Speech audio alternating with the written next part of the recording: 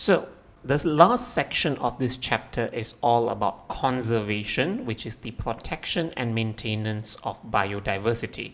It just basically talks about how we want to protect the habitats and ecosystem around us, and also, keyword here, trying our best to prevent the extinction of species. Now, extinction of species will happen regardless of human activities or not. However, we have to be aware that the presence of humans on earth the things that we do on earth can sometimes accelerate the extinction of many important species as well. Endangered species basically means that the species has the population has fallen to dangerous levels and if we don't do anything about it they will become extinct which means to say they cease to exist what causes this to happen? Very simple. We have things like um, we have things like excessive hunting by humans, loss of habitats of the creatures or plants, climate change where they are unable to adapt to the changing environment, alien species. Now, alien species is not you know ET extraterrestrial things. Uh, alien species or invasive species are just a species that moves into a new area and competes with the local species. As an example, the python, which is a particular large snake, is found in the region of Southeast Asia. It's endemic or local to that area. However, what happened was they were imported into the United States uh, as pets. Now, the problem here is when they were brought to the United States, they may have escaped and when they escaped they started eating the local birds in that area. So when they start eating the local birds in the area and the python did not have a natural predator so there's nothing to eat or control the population of the pythons in the United States. So the python is referred to as the alien species right? Another case over here was in Australia. In Europe, when the European colonists went to Australia, they also brought rabbits for a source of meat and fur. But the issue there then is the rabbits escaped and started to proliferate and multiply at alarming levels, and they started to eat the plants in the area, which caused huge problems back then. So the rabbits became the alien species or the invasive species in Australia. So these are some issues that we have to be careful with because when they become alien species, they will affect the local species in that area. Now, why do we have to protect and maintain biodiversity? They love asking these questions usually. So there are many answers that you can give for this. So there are about seven answers, I think, if you look at your textbook, or you can go online and check it out. But the first one is the moral and ethical reason. The important thing is uh, moral and ethical reason is because we are aware of the damage we do. We, as humans, we are self-aware to the fact that we are present on Earth and we understand that we are causing damage to the environment. So we have a responsibility to try to mitigate or reduce it, right? The second reason, if you are more capitalist, all right, and the first reason doesn't appeal to you, then consider the second reason, the economic reason. Plants, especially, are source of drugs and medicine. Not just plants, by the way, but a lot of things can be a source of drugs, medicine, or gene tech. As an example, penicillium is not a plant, but it's a fungi, uh, but they actually produce antibiotics, which is the penicillin antibiotics.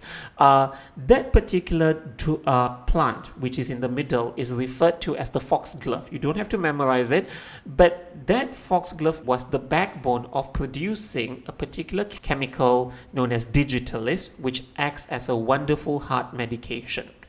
And another one, we also have this, uh, this bacteria known as Thermus aquaticus. And Thermus aquaticus was where we derived the enzyme Taq polymerase, which was used in gene tech, PCR.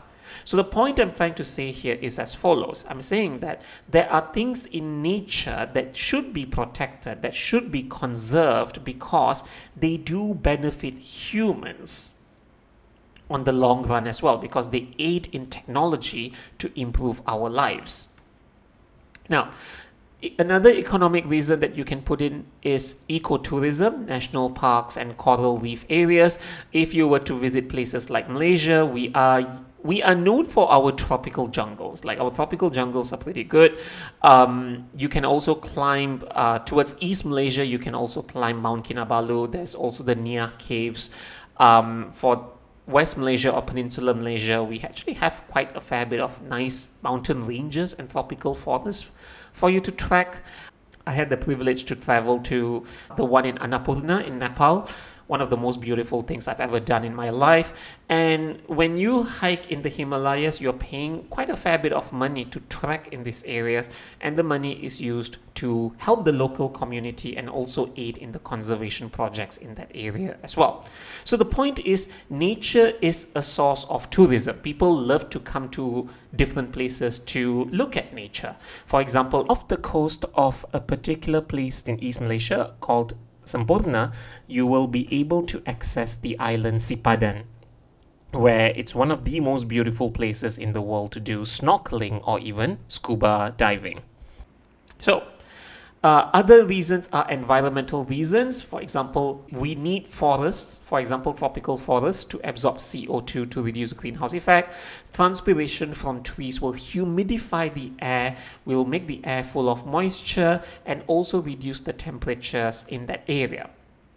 Aesthetic is quite an interesting one because we should also protect the environment because it does help with aesthetic and beauty reasons. Now, Nature is a source of inspiration for the artists. For example, if you're a writer, if you're a painter, if you're a poet, if you're a fashion designer, if you are a person who likes to uh, do animation, one of the biggest things that I explain is Finding Nemo. I'm sure you all know about this animation, this movie. Finding Nemo derives its inspiration by observing creatures in reef ecosystems, the clownfish, the sea anemone, the jellyfish. Of course, you know, that's implying that Dory is always forgetful, but you know, that's just artistic uh, creativity but otherwise the reason why the movie is good is not just because you know it's good it's like a good story but it's realistic.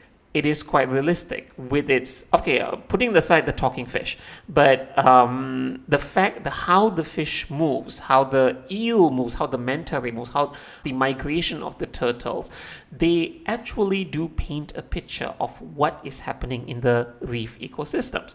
Uh, fashion designers also take inspiration from deep sea creatures like this and also, if you notice the one on the right side, they have taken inspiration from, obviously, the peacock.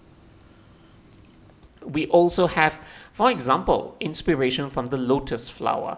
Uh, the lotus flower is something that is beautiful, that has always been uh, associated with Buddha, because Buddha is always depicted uh, meditating on the lotus flower the allegory or the symbolism here is the fact that the lotus flower is something that grows in murky waters, um, very muddy or sometimes even dirty water. But as it comes out and sees the light, which is the sunlight, it will bloom into something beautiful, which is sort of the message that Buddhism is trying to convey. Like at the I'm, I'm, again I'm, I'm going to bastardize this to the i'm really going to bastardize this because i'm not the best when it comes to buddhism. But the point is when the lotus blooms it represents overcoming the obstacles or the problems in our lives and achieving a kind of nirvana so yeah, so it became a source of inspiration for artists and even symbolism as well. Please do not underestimate the power of nature when it comes to inspiring you. Another reason is ecological reasons to protect food chains and food webs. For example, we have the kelp forest. The kelp is sort of kelp is sort of like an algae or seaweed by the way I guess you can say it's a plant and they live in the waters, all right? The kelp forest is a very important habitat for many creatures. Uh, also things to absorb carbon dioxide from the water so that they can reduce the amount of CO2 in the water, preventing acidification. Problem with the kelp forest is sometimes sea urchins, yes, these spiky things, uh, will eat up the kelp forest and decimate the entire habitat. And that's a problem. So we need something to reduce the sea urchin populations. And that comes from our good friends over here, the otters. So the point of the matter over here is we have to protect otters no matter what, right? Otters first. Okay, no, not otters first, but you know, otters important. So by protecting the otter population, you are able to control the sea urchin population, which will help to protect the kelp forest. It prevents the kelp forest from degrading or from being destroyed. So these are some of the reasons why we would want to conserve, protect and maintain the biodiversity in our areas.